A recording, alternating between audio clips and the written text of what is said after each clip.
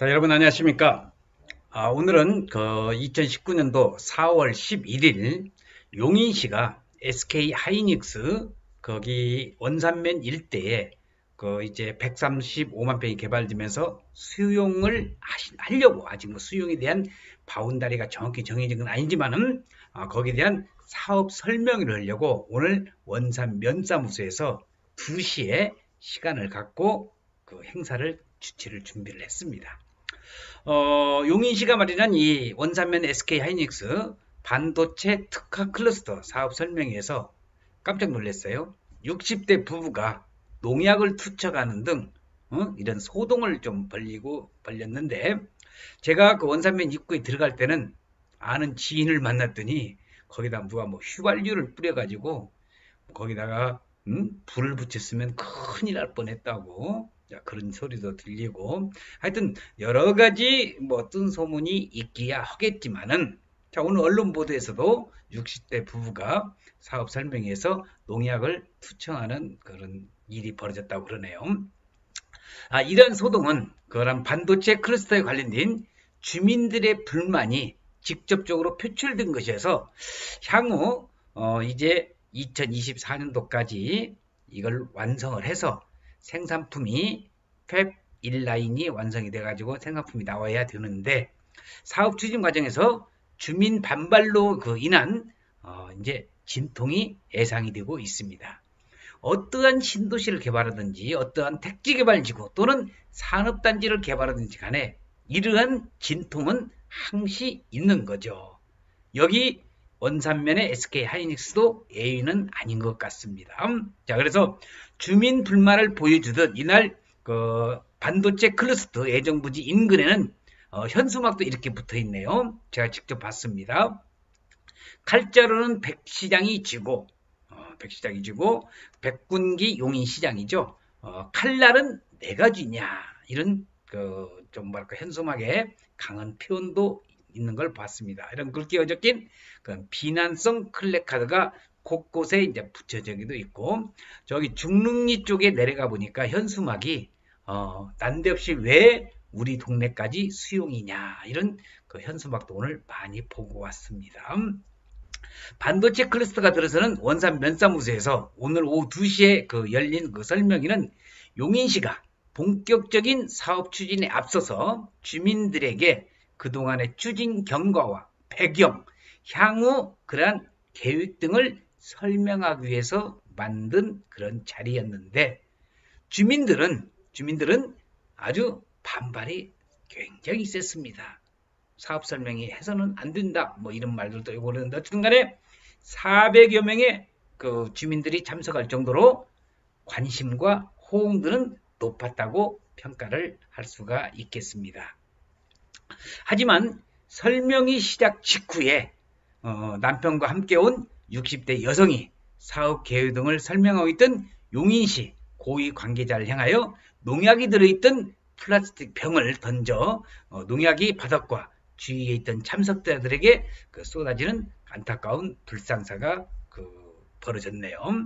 자, 그래서 어, 이 여성은 SK 하이닉스 반도체 특화 클러스터의 원천 무효를 주장하면서 농약을 던졌다고 참석자들은 말하고 있습니다. 이 이후에 그 참석자 가운데 100여 명 이상이 빠져나가고 법적 요건을 갖추기 위한 요식행위 아니냐는 불, 그, 불신 섞인 그런 주민들이 고생이 쏟아지면서 설명회는 파행 속에서 어쨌든 간에 진행이 되었습니다. 어, 용인시는 그 준비했던 present 자료를 그런 그 PPT 자료를 사용하지 않고 자료도 배포하지 않은 채 어, 구두로 관련 현황을 설명하는 등 아마 상당히 진땀을 빼는 수고를 겪은 것 같습니다. 주민 반발이 계속되자 시 관계자는 법적 효력 있는 공청회는 오는 7월에 실시할 계획이라고 그 발표를 했고 이 자리는 순수한 설명의 자리라고 수차례 해명하면서 발표를 했습니다. 저 역시도 마찬가지로 그 자리에 있어서 어, 곰곰이 들어보면서 생각을 좀 해봤지만은 과연 이 SK 하이닉스 그 만드는 산업단지가 누구를 위한 사업인지 음, 이런 내용은 이 영상을 그 정치하시는 여러분들께서도 한번 곰곰이 생각해 보셨으면 하는 저의 바람입니다. 어, 앞서서 그 3월 27일 날 정부는 수도권 정비위원회를 열어서 산업통상자원부가 신청한 반도체 클러스터 조성을 위한 산업단지 공급 계획, 그 추가 공급 요청안을 심의 의결을 해서 용인시에 확정을 지었다고 제가 그 동영상을 통해서도 말씀을 드렸고 아마 다른 언론에서도 여러분들이 많이 들으셨을 겁니다. SK 하이닉스는 어, 이 원삼면 그 일대에 120조 원을 투자해서 4개 이상의 반도체 fab, 어, fab이라는 것은 FAB라 가지고 생산 시설을 얘기하는군요. 4개의 fab을 조성하고 D램과 그다음에 그 NAND flash 장점을 그 조합한 초고속 비휘발성 차세대 메모리 반도체를 연구 생산할 계획을 가지고 있습니다. SK 하이닉스 반도체 특화 클러스터는 2011년, 한 2021년 초에 부지 조성을 착공을 하고 이 안에 이제 토지 수용에 관련된 내용은 어느 정도 끝나야 되겠죠. 2025년 초에 반도체 그 팹의 생산 라인 가동을 목표로 현재 추진되고 있습니다. 자, 오늘 원산면 면사무소에 어, 저도 직접 참석을 해봤지만 굉장히 이렇게 아우성 속에서 제대로 진행이 되지 못하고 어, PPT 그런 자료도 없이 그냥 그 설명을 그 한 그런 거에 대해서는 참 우리 주치원 측도 그렇고 또 이걸 받아들이는 주민들도 대한민국이 과연 그 어디로 가야 될 것이냐 이런 내 나름대로의 생각도 해보면서 안타까운 마음이 없지 않아 많이 있었습니다.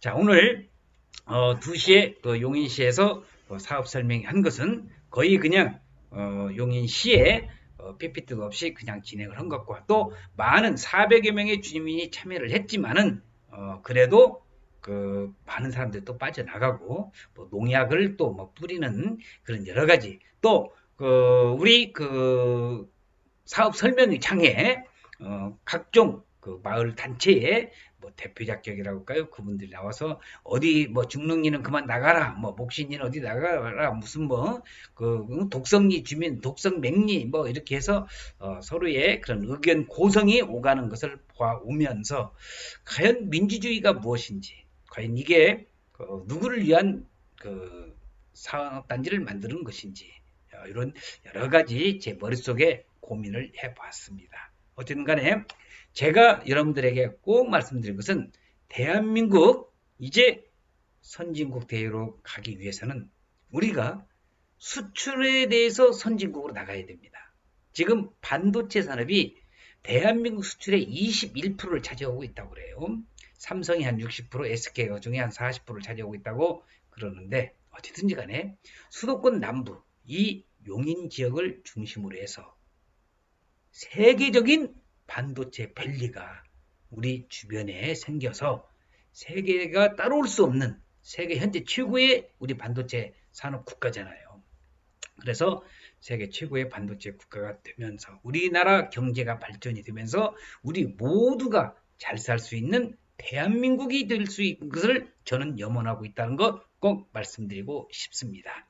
자, 이 동영상을 시청하신 여러분들, 민주주의가 무엇이고, 과연 우리가 어떻게 하면 대한민국이 잘살수 있는 것인가를 다시 한번 생각해 볼 수 있는 오늘의 용인시 처인구 원산 면사무소에서 사업 설명이 있던 것을 어, 제 눈으로 직접 보고 여러분들에게 안타까운 심정을 전해드린 입장입니다. 자, 어, 원산면 일대의 SK 하이닉스 어, 요 산업단지 형성되는 것에 대해서 혹시 질문이 있으시면은 저에게 질문을 주시면은 제가 아는 데까지 성심성의껏 답변할 수 있도록 그 약속을 드리면서 오늘 영상 마칠 수 있도록 하겠습니다.